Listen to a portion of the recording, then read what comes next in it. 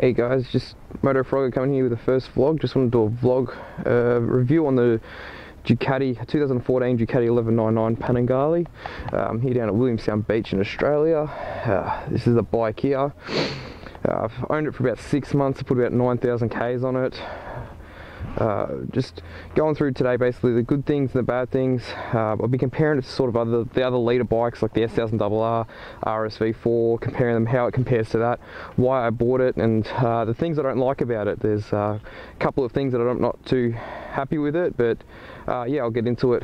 Um, I'll just be taking it easy. As you can see, I've got brand new set of Pirellis on it. I just put on yesterday, so I really got to take it easy. Um, yeah, it's still a bit slippery but we'll give it a quick spurt down down the road here and we'll go through um, yeah the review of the bike.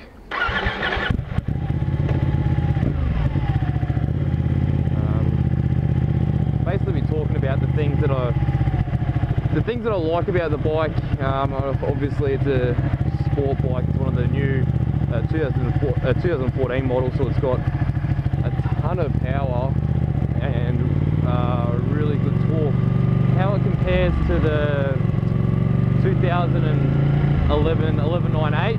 Um, it's not as much low down torque. It, it is true what everyone says. It hasn't got that low down torque that the Panigale, uh, the 1198, uh, 1098, the 1198 and the 1098 had. Um, it is it is quite not sluggish um, compared to other leader bikes. Compared to the S1000RR, it's definitely a lot quicker down low. Uh, it's a lot a lot more punch down low. It's um, yeah, definitely got good punch down low. Whereas the S1000RR with I think in all inline fours they like they're almost like a wind-in engine. Has to wind up with a power. Whereas the L twin on this engine just yeah, it's just really good good torque down low. Not as crazy as the uh, 1198, but still uh, plenty of torque to get the front wheel up near in first and second gear at nearly any revs. And then the thing that this has over the 1198 is it's the top end rush. Now it's got the top end rush of a, a good inline 4 now by good inline 4 I mean I've, I test, I'm comparing this to the S1000RR because that's the bike that everyone rates very highly. And um, the other bike we compare it to is the Aprilia RSV4 which I also test rode now this bike is very, very quick up top. Um, so the S1000RR is quicker up top. It is a, it is a little bit more scary up top. But it's not scary because all its power is up top. So you, you're really going quick by the time you get it. Whereas the Ducati scares you more on a day-to-day -day ride. Um, and that's the reason I bought it. Is like the looks of it, I, I still think it's the nicest looking sports bike there is. Um, I don't really know. I don't think there's another. I do like the RSV4, but um, yeah, the Panigale has it. Uh, speed bump here. Panigale has it for me for looks. Um, the other thing that is ridiculous on this bike is its brakes. It is you. Oh, my previous bike was the K6 GSXR 1000, which brilliant engine and still, even today, it's still, everyone raves on about how good of an engine that bike had. Um, which it was a, a lot like the S1000RR, that inline four, up top power, um, really winds in and really gets exciting up top in your rev range when you start revving it out. Uh, the, the, it didn't have strong brakes, whereas this has got the um, Brembo monoblock, some of their best brakes on it, and it is, the brakes are scary, like, you just, I'll see if I can do a sort of demonstration here, it's just, and you just see, it is, it is like, it's forcing me right up into the front of the seat, it is, brakes are really, really yeah, I, I um, they're the good things. Uh, everyone raves on about the power, everything like that, about the Ducati, the looks, the sound it makes. I I don't know how well it's coming across through the microphone. I don't know how well it's portrayed through this, but the sound of it is just, it is oh, unbelievable. Um, a lot of people don't like the sound of twins on motorbikes. Um, I I was never a fan of them. I had the Gixxer, as I said, I was a big inline four fan. I love the sound of the BMWs, but oh, the this when you're up high in the rev range, you just nothing can beat it for sound. The RSV4 rode that. That was a very nice sounding bike. Stock. The 2015 S1000RR is a nice sounding bike, but the distinct note and the distinct sound that the a Ducati makes um, sort of gone with them taking away the dry clutch and going to a wet clutch but it is a yeah brilliant brilliant sounding bike. Uh, now I suppose if everyone wants to sort of know about the bad things everyone everyone sort of there's a lot of good things about this bike. Um, I suppose the common fault and the biggest problem I have with the bike is the is the, not the heat coming off the bike but I'm sitting right on top of one of a cylinder head. So where the, my legs sit on, I'll put a picture up now so you can see it and I'll circle the, the bolts that I'm talking about. When you sit down, your thighs are right up against these bolts. And if you're riding in anything other than leathers, you will have burns on your legs if you ride for more than an hour. I've got some pretty, pretty, pretty wicked burns on my legs from, oh, there we go, Aston Martin. Um, I've got some pretty, pretty nice burns on my legs from uh, this bike, so that's that's my biggest problem with this bike. Um, the other problem, obviously, Ducati Super Sport bike, is its seat is the probably one of the most uncomfortable seats I've ever ridden on a bike. Um, as I said, I've ridden other sports bikes. I've ridden uh, ZX10. I've ridden uh, the GSX-R 1000, obviously. I've had uh, ridden the RSV4. I've ridden the BMW, the 2014 S1000RR, and the seat on this is it's just it's so firm. There's no padding. It's it's it's really really you get you get really sore after a while. And um, where I live, I have to ride about two hour, an hour and a half to get to any good road. So by the time I get to any twisty roads, I'm quite sore as it is. Um, yeah, so that's that's another another bad thing about the Ducati. Um, uh, other bad things, it's got it does it does have a very like with the twin, it's got a very sensitive sensitive throttle, but I think that's new riders who come on the bike, oh, sensitive throttle, like first gear around corners, like just then, you have to be very, very cautious. You just can't wrap it on um, like you used to on your smaller bikes. Like I came uh, coming from a Ninja 250, if I ever ride a not so powerful bike, I would been careful of how you deliver the power around low speeds.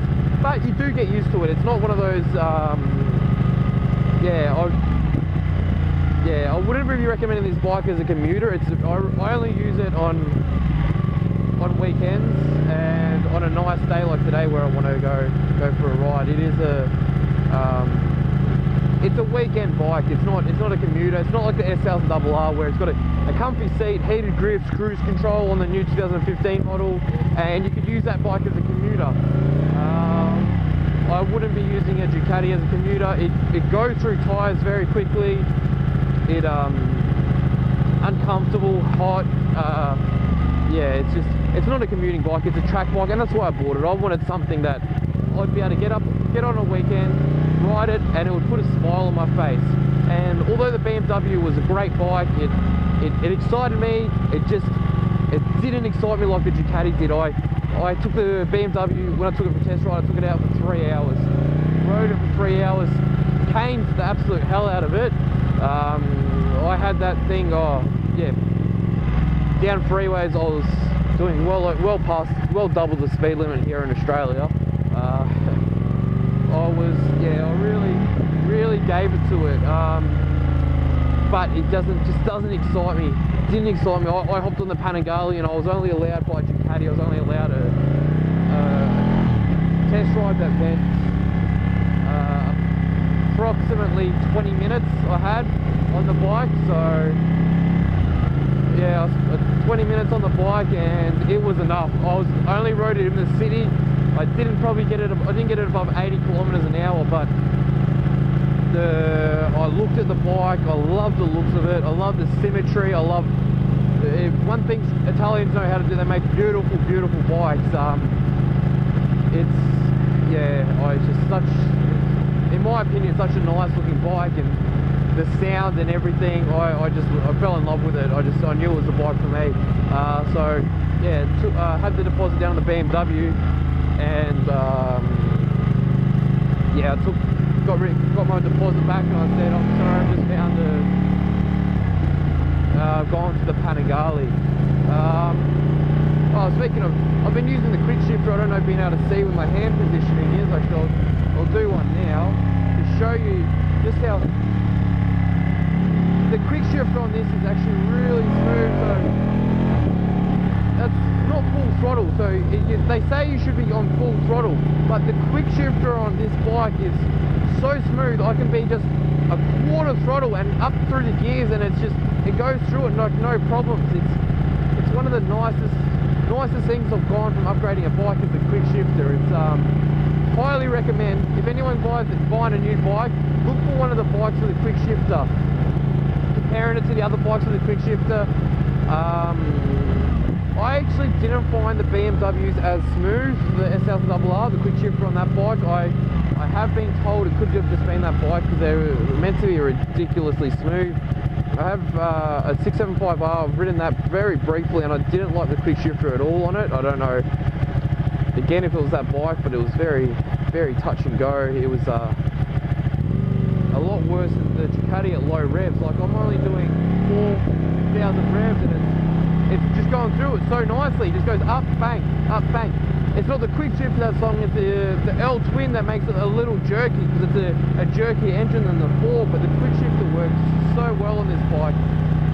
Um, yeah, I can't really I can't really fault much else with the bike other than the really the the ergonomics of it. The, the seat and the heat that comes from this bike is just it's it's it does not ruin your riding experience, but I wouldn't be using it for long trips. I mean, the longest trip I do is probably a uh, non-stop. It's about two and a half. I've ever done is two and a half hours, and you're sore by after the, after it. If you've been riding all day, like when we go out and go do a twisty run, uh, I'm gonna turn around because the sun is gonna be right in your eyes. Yeah, it's a bit bumpy.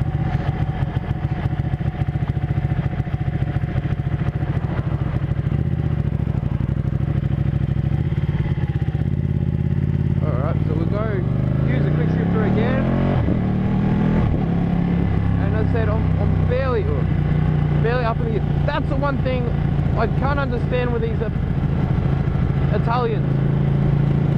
I, I love spamming the indicator thing when I'm riding. I like pressing it. But on the Ducati, when you press the indicator, it goes into your riding mode and it still does have your speed on there, but you lose, it just distracts you. It's, um, I wish they had another button. They've got so many buttons or places for buttons. I wish they had another button to change your mode rather than oh, Ducati, got to be so compact, got to save weight, we can only have one button. It's ridiculous. It just, that, that, that does frustrate me quite a, quite a bit when you're riding and you press the button to, and you think you're off the indicator and then, oh, it does annoy me. Um, hopefully the audio's been good, it's a good quality picture. I'm running 1080p, six, uh, 36 frames per second on a GoPro 3 Hero Plus. Um, so I do hope that it's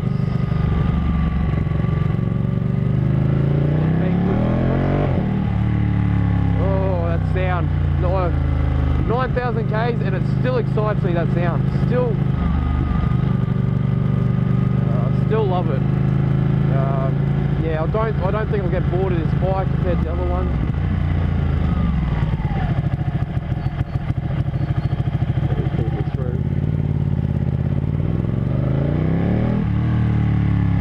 Um, yeah, so I'd really like to do a lot of top end of bike comparisons of all the different sport bikes there are out there. I mean, yeah, uh, basically my vlog done.